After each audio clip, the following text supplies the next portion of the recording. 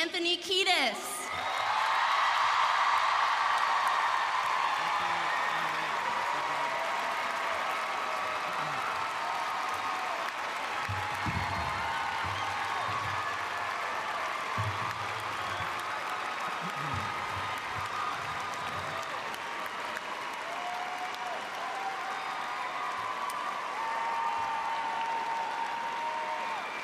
This is so weird.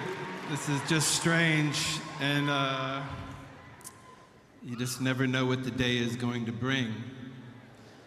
Um, before I get carried away or sidetracked into a surreal daydream, I would like to say that this is really on behalf of the Red Hot Chili Peppers because I have been lucky enough to write a bunch of songs, but always with a band. And that's my band, and those are my brothers, and we started something together, and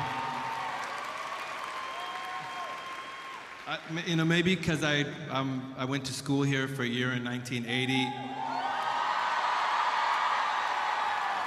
They singled me out of the band, but really this, you know, for whatever this is, this accomplishment or this work in progress or whatever you want to call it, it's for my band. Um, one of whom is, is with me tonight for, for later.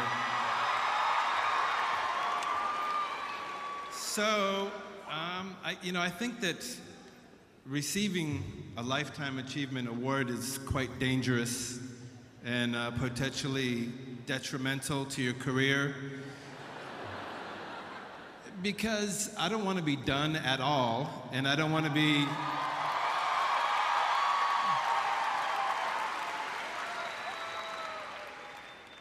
I don't want to be irrelevant or disconnected from, from the things that inspired me to begin with, because, you know, it's, it's the, it happens to poets and popular songwriters. You know, they start off and they have such a great connection to life and what it is to be connected to humanity and the common experience.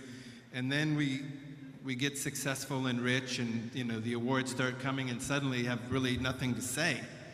So I live in fear of that a little bit, and I've tried to figure out how to stave that off for as long as possible. But I am grateful nonetheless, and I'm grateful for the experience of what it is to be, you know, pointed out for someone who writes songs because that's what I love to do. And I don't know what George and Ira think about this tonight.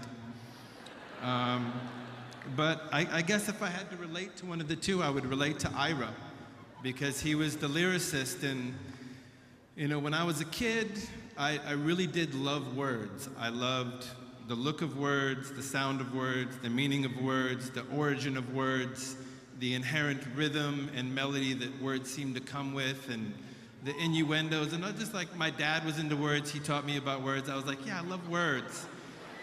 And when I was 12, I think I, I proclaimed that I'm, I'm going to be a singer when I grow up. And the, the weird part about that is I was a horrible singer and I really had no musical acumen or tone or anything at all, but I liked the way that music made me feel, and that's why I said that. I didn't say it because I thought I was this great singer, but when I would listen to the radio and I would hear music, it, it filled me up so strong and made me feel so alive and so turned on and excited and full of ideas that even at a very young age, I knew, okay, let me just be involved in this somehow.